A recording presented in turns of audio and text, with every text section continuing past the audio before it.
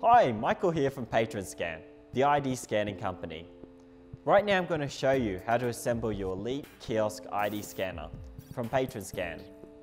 The only tool you're going to need is a Phillips head screwdriver, the one that looks like a star, to assemble the scanner.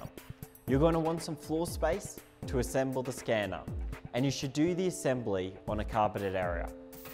If that is not available, then you can open up the box that it comes in and assemble the scanner on that.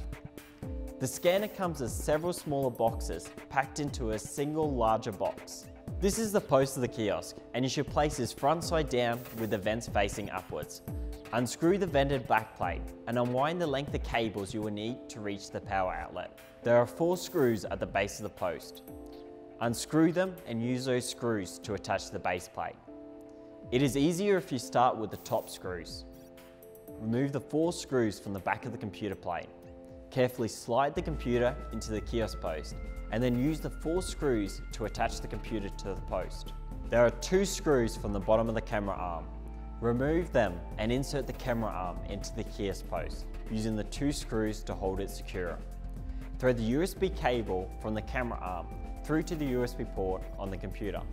Attach the USB cable from the scanning bed and the power cable to the computer. If you're connecting your scanner to the internet with a wired connection, then connect the internet cable to the computer and run the length of the cable through the post. Now that everything has been connected, attach the vented backplate to the post.